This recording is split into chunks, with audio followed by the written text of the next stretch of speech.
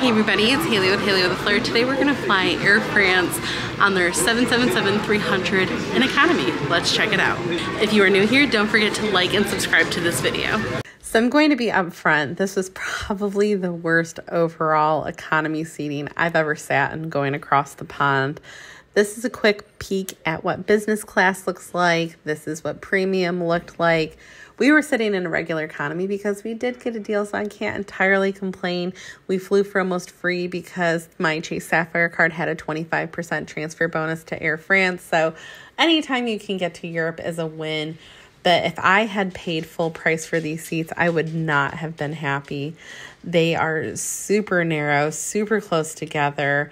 Although there are a lot of great new features on this, you'll kind of just see the pitch width is very short. My daughter is five two and a half. I'm five three. My husband is about six one, and there is not a lot of room back here. Now, some of the perks of what I did like is the cup holder right here, so that you don't have to have your whole tray down.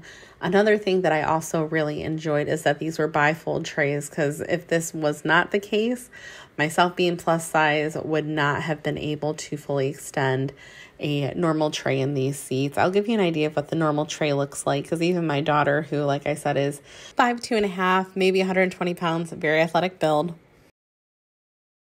This was very close to her coming out as well.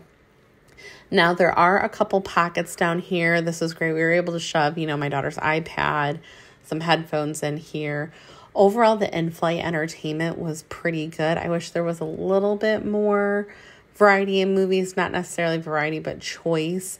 It seemed a little limited, but these screens were beautiful. The touch screen was very, very responsive. Would highly recommend checking this out when you're on your flight. I'm going to kind of show you what the movies look like here in just a moment. But overall, very, very happy um, with some of the gaming and movie options as well. Let's click on film so you guys can see what this looks like. All right, so there are obviously some films in French in here, but obviously a good amount of English as well. Enjoyed watching a couple movies and playing games. I actually played more games on this flight than I normally would. This is the pillow you are given. There is a small blanket, but this plane was so hot. I definitely didn't use it. These are the headphones my daughter is wearing. They click in right here these are the games that they had. I played a little Sudoku, a little Solitaire, and a little Monopoly.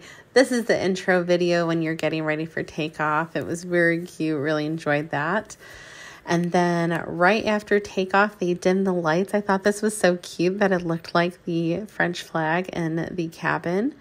Then it was dinner service. Now, this was really, really slow on our flight and they were already out of some varieties by the time they got to us. But this is what the chicken meal looked like. Olivia got the pasta.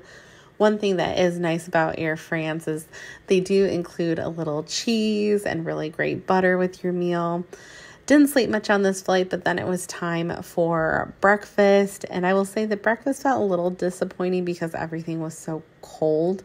Even the roll that we got with breakfast was very hard and cold, but um, it was kind of a decent variety. I just wish, you know, there was something a little warmer. I know on Delta, even in economy, you kind of get like a little warm egg and cheese sandwich or something of that nature. But everything was just extremely hard and cold. You do get a little yogurt drink that comes with this. There's a couple different spreads. So, overall, if you're going to fly Air France, this is definitely not the plane that I would fly. I'm going to be posting another review of a different plane that was a little bit more comfortable. So, I hope you guys enjoy it, and I'll see you on the next one.